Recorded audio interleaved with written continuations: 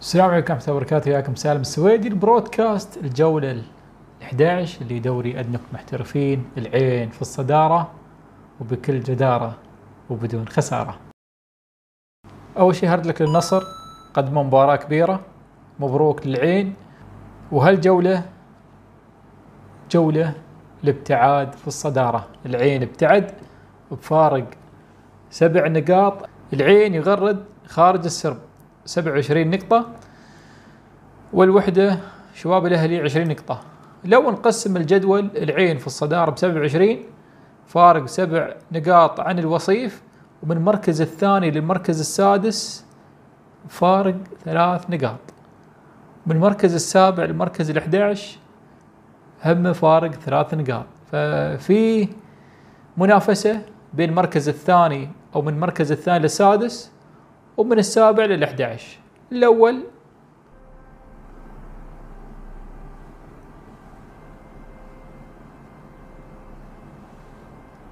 الأول. طاير فوق. من 11 مباراة. فزنا في ثمان وتعادلنا في ثلاث ولا خسارة. الفريق الوحيد بدون خسارة. العين الحمد لله فاز على النصر بالنتيجة 3-1 اللي حاب يشوف ال vlog تلقون موجود في على الشاشة. وبعد قبل أو الأسبوع اللي طاف نزلت vlog مباراة النصر والعين. دور 16 لكأس رئيس الدولة. بعد تلقون ال vlog موجود في على الشاشة. سار الليل يا أبو ثلاثة.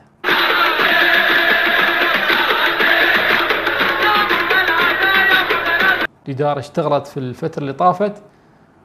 وفي الانتقالات الشتوية بتكون في صفقات وإن شاء الله في البرودكاست الجاي بتكلم عن الانتقالات الشتوية. العين تخطى طبقة الأوزون والمجموعة الشمسية والمجرات.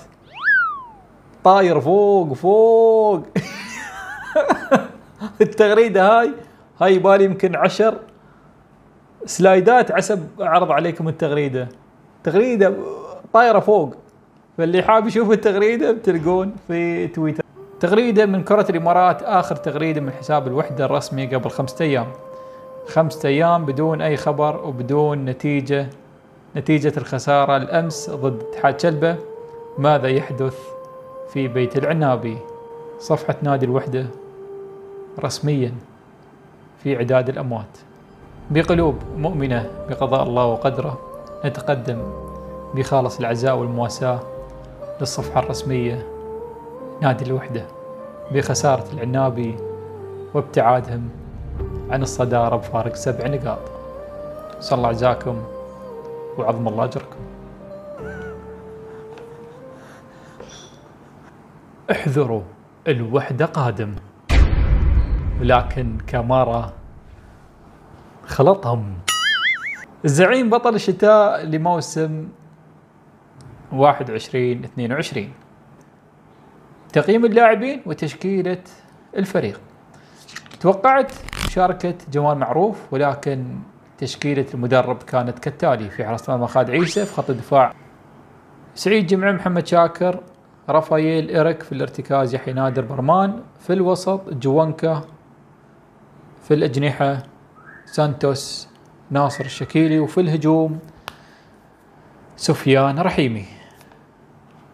لاحظت هذه على الورق. ولكن وقت المباراة الفريق لما يلعب بأسلوب دفاعي لاحظت إن التشكيلة كانت 4 4 2 مأمن آه كانت في كثافة على الأطراف. النصر عندهم لاعبين خطيرين على الأطراف. فعلى هالأساس لعب خطة 4 4 2 جوانكا كان يغطي جهة اليمين ورحيمي كان يغطي جهة اليسار. في أوقات تتغير المراكز.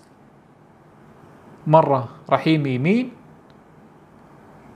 جوانكا يسار يسار يمين يمين يسار يمين يسار. العب يلا العب يلا العب يلا العب يلا ما تلعب يلا العب يلا اشرب يلا.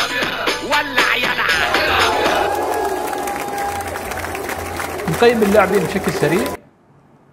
اللاعبين. ولا لاعب سيء. لاعبين جيدين خالد عيسى محمد شاكر برمان ناصر شكيري وجوناتاس ولاعبين جيدين جدا سعيد جمعة يحيى نادر رافائيل إيريك ورحيمي. رحيمي لأنه ضيع ضربة جزاء فعلى هالأساس أعطيته جيد جدا. نجم المباراة بدون منازع كريستيان جوانكا. الله يوفق العين. المباراة الجاية ضد عجمان. اشتريت التذكرة بسوي فحص PCR وإن شاء الله بنحضر المباراة. بتكون آخر مباراة سنة 2021 كل عام وأنتم بخير. إن شاء الله تكون آه، السنة الجديدة خير علينا. والله يحفظنا. اشوفكم إن شاء الله في الفيديوهات الجاية.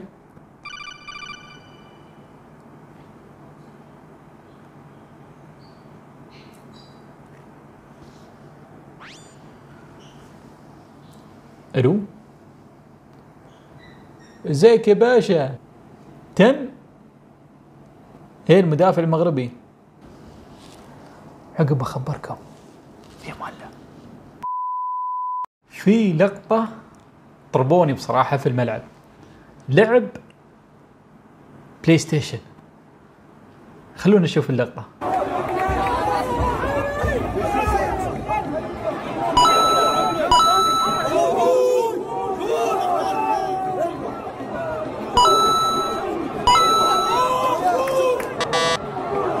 أخي ايرك ارفع رأسك.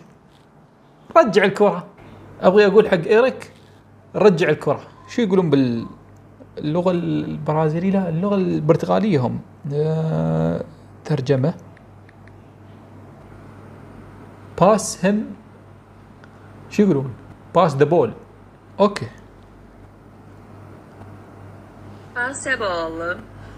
passa bola passa bola إيريك إيريك passa bola بس لا بصراحة كفو. شو يقولون بعد كفو بالهذا لحظة خلينا نشوف. well done well done Bem feito.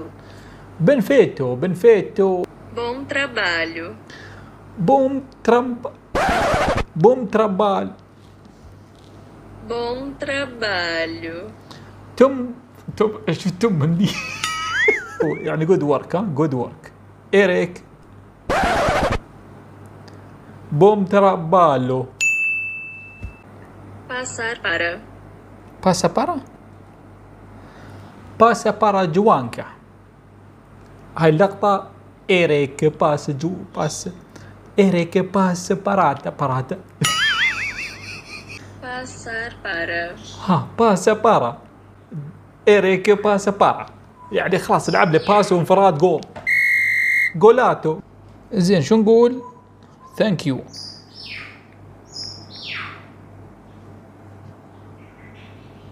Obrigada. اوبريغادا ايريك اوبريغادا خلاص بس. بس. هاي بالي كورس برتغالي عشان اتعلم